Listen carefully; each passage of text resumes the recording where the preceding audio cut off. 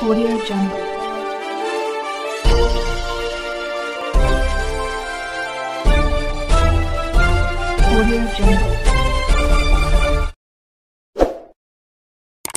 ಚಿಕ್ಕನರಗುಂದದ Karnataka public ಪ್ರೌಢಶಾಲೆ ಆವರಣದಲ್ಲಿ ಸ್ವಾತಂತ್ರ್ಯ ಅಮೃತ ಮಹೋತ್ಸವದ ಅಂಗವಾಗಿ ಎಂಟನೇ ಅಂತಾರಾಷ್ಟ್ರೀಯ ಯೋಗ ದಿನಾಚರಣೆ ಆಚರಿಸಲಾಯಿತು ಈ ಸಂದರ್ಭದಲ್ಲಿ ಎಸ್ಡಿಎಂಸಿ ಅಧ್ಯಕ್ಷರಾದ ಶರಣಬಸಪ್ಪ ಹಳೇಮನಿ, ಕಾಲೇಜು ಪ್ರಾಚಾರ್ಯರಾದ ಎಂಪಿ ಕುಲಕರ್ಣಿ ಪ್ರೌಢಶಾಲಾ ಮುಖ್ಯೋಪಾಧ್ಯಾಯರಾದ ಆರ್ ವಹಿ ಕುರ್ತಕೋಟಿ ಎಸ್ಡಿಎಂಸಿ ಸದಸ್ಯರು, ಸಹ ಶಿಕ್ಷಕರು, ಪ್ರೌಢಶಾಲಾ ಮತ್ತು ಪದವಿ ಪೂರ್ವ ಕಾಲೇಜು ವಿದ್ಯಾರ್ಥಿಗಳು ಪಾಲ್ಗೊಂಡಿದ್ದರು.